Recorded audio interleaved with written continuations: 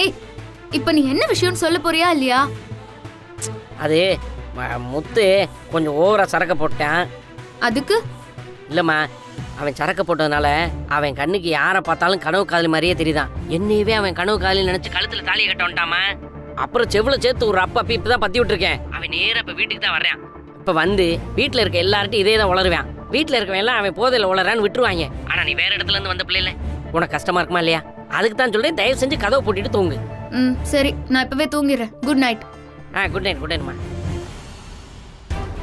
அப்பா ஒரு போலீஸ் கேஸ்ல இருந்து தப்பிச்சிட்டான்.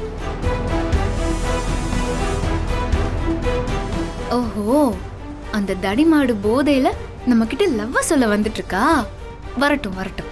அந்த போதைய நம்ம மீனாட்சியோட லவ்வுக்கு ஊறுகாயாக்கிற வேண்டியதுதான்.